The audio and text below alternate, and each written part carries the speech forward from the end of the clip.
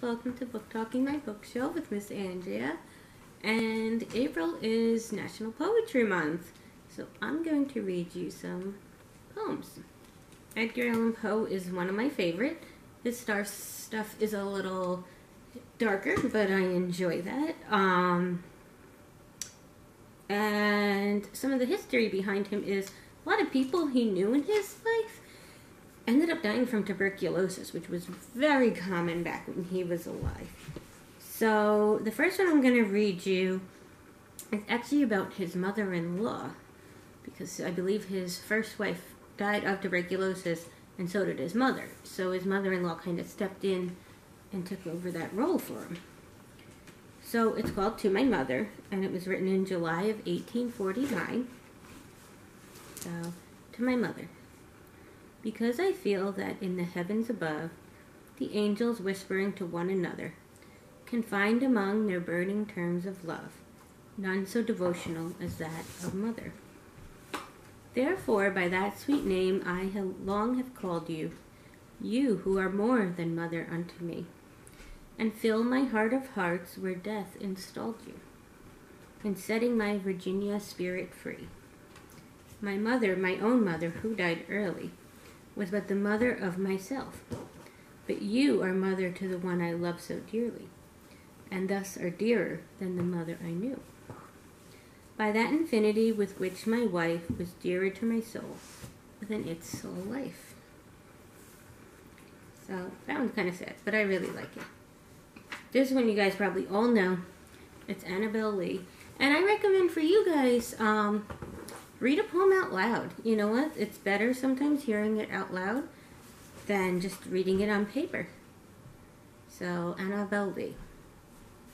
It was many and many a year ago, in a kingdom by the sea, that a maiden there lived whom you may know by the name of Annabel Lee. And this maiden she lived with no other thought than to love and be loved by me. I was a child and she was a child, in this kingdom by the sea. But we loved with a love that was more than love, I and my Annabel Lee. With a love that the winged seraphs of heaven coveted her and me. And this was the reason that, long ago, in this kingdom by the sea, a wind blew out of a cloud, chilling my beautiful Annabel Lee, so that her high-born kinsman came and bore her away from me, to shut her up in a sepulchre in this kingdom by the sea. The angels not half so happy in heaven when envying her and me.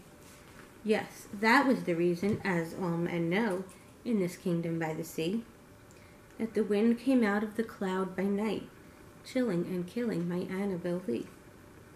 But our love it was stronger by far than the love of those who were older than we, of many far wiser than we. And neither the angels in heaven above nor the demons down under the sea, can ever dissever my soul from the soul of the beautiful Annabel Lee. For the moon never beams without bringing me dreams of the beautiful Annabel Lee. And the stars never rise, but I feel the bright eyes of the beautiful Annabel Lee. And so all the night tide I lay down by the side of my darling, my darling, my life and my bride, in her sepulchre there by the sea in her tomb by the sounding sea. And that was written in October of 1849. So I have one more short one to read to you. Let me find it. Again, another favorite of mine. These are my three most favorite, but I like a lot of his stuff. So, this one's shorter. A Dream Within a Dream. Take this kiss upon thy brow, and in parting from you now, thus much let me avow, you are not wrong to deem that my days have been a dream. Yet if hope is flown away, in a night or in a day, in a vision or in none, is it therefore the less gone? All that we see or seem is but a dream within a dream. I stand amid the roar of a surf-tormented shore, and I hold within my hand grains of the golden sand. How few, yet how they creep through my fingers to the deep, while I weep, while I weep. O oh God, can I not grasp them with a tighter clasp? Oh God, can I not save one from the pitiless wave? Is all that we see or see but a dream within a dream? And that was also 1849. All right, that's what I'm going to read for you today. I hope you guys enjoyed it.